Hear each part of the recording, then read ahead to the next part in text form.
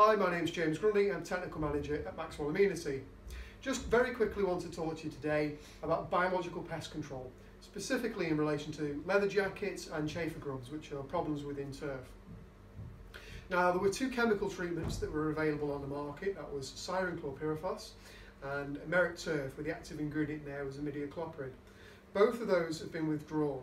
Uh, Cyren uh, uh, chlorpyrifos went last year, and uh, imidacloprid, uh, that is, there's one sort of one season left of use, um, but that any stocks that you have available have to be used up by October the 31st this year.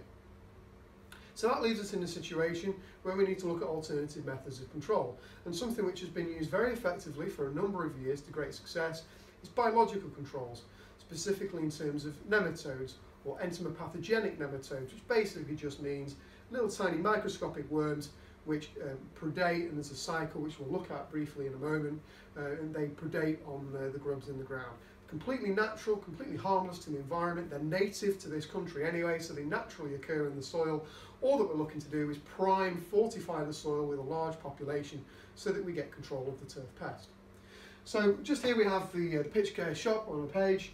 And if you see down the left hand side, we've got an insecticide pest control category. We can go to biological pest control. Once we go to biological pest control, we can select uh, a product. In this case, we've gone for the uh, leather jacket killer.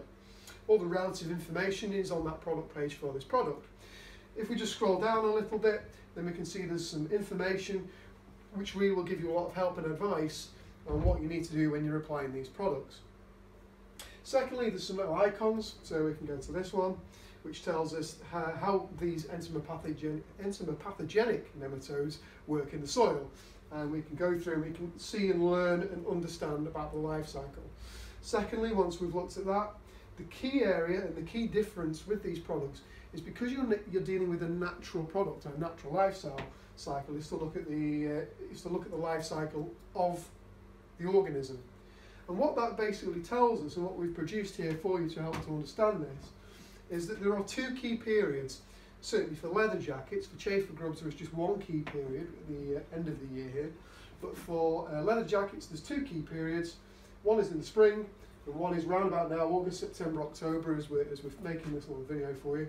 We're coming into the key period. The key thing to understand is, and this is a mindset change that you need to have, and that mindset change is you need to be proactive. You can no longer afford to wait until January, February, March, see if you have a problem, and then apply.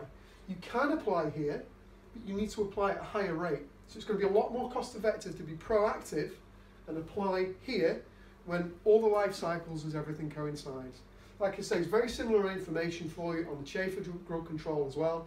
So go to those web pages. If you have any more questions, don't be afraid to give one of our technical salespeople a call and we'll help you out as best as we can.